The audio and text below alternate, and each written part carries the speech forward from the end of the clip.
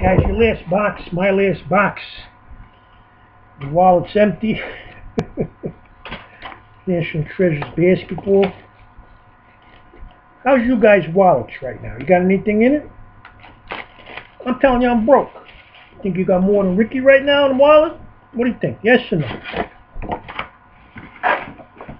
Last box. National Treasures. All right.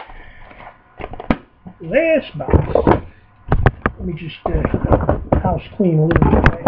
I'll be a little better when I leave you. All these wooden boxes smell so sweet. And I'm done. All right, let's get to the box. Let's cut it open. Let's cut it open.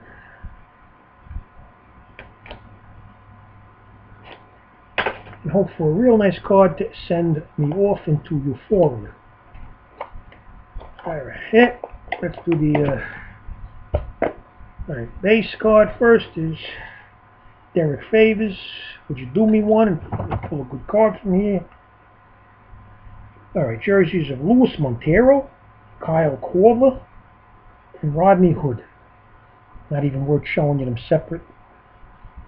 Here's a patch of Victor Oladipo, number 25. Here is a Jojo White, number 275 on card. Here is an autograph patch of who's this? Al Horford. Here is an autograph of Toni Kukoc. Here is a Dwyane Wade USA autograph, number 225. Dwyane Wade on card, sweet. Like Flash. And your 101 printing plate is of Kevin Willis. Alright guys, look, I didn't make my money. I didn't even make close. But I got some PC cards, and I entertained you for a few minutes, and that is worth all the money in the freaking world. Ciao.